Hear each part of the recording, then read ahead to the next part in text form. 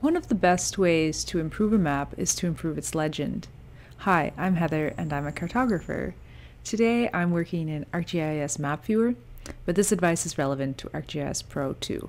Here in the Styles pane, I can see that this layer has 14 symbol classes. That is too many for most map readers to interpret. I'll shorten and simplify this legend. First, should I show the other symbol class? In this case, I don't know what these null features represent, so I'm going to leave them in the other group, and I'll turn it off so it, doesn't appear on the map or the legend. This symbol class has a feature count of zero. If the symbol is not on the map, it shouldn't be in the legend either. I'll drag this into the other group to remove it.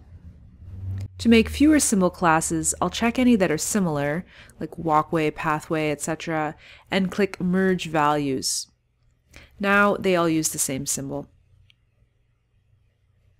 Always review the names of your symbol classes. I'll rename these to be shorter, simpler, and easier to read. A name like Network Link might make sense to me, but will my map readers know what that is? Unmarked Crosswalk is a little clearer. Even if a name is already clear, I can improve it by making it shorter. For example, Active Transportation Multi-Use Pathway I think is better as multi-use path.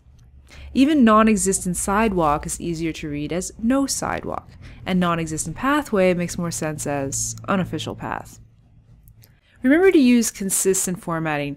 Here I chose to capitalize only the first word of every symbol class, so this one will look like a typo if I don't change it to match. Finally, I'll reorder the symbol classes so like features are together. No sidewalk goes with sidewalk, unmarked crosswalk goes with crosswalk, and all of the paths can go together as well. The legend is complete. It's shorter, it's simpler, and it's easier to read. What about your map? Can it be improved by improving its legend?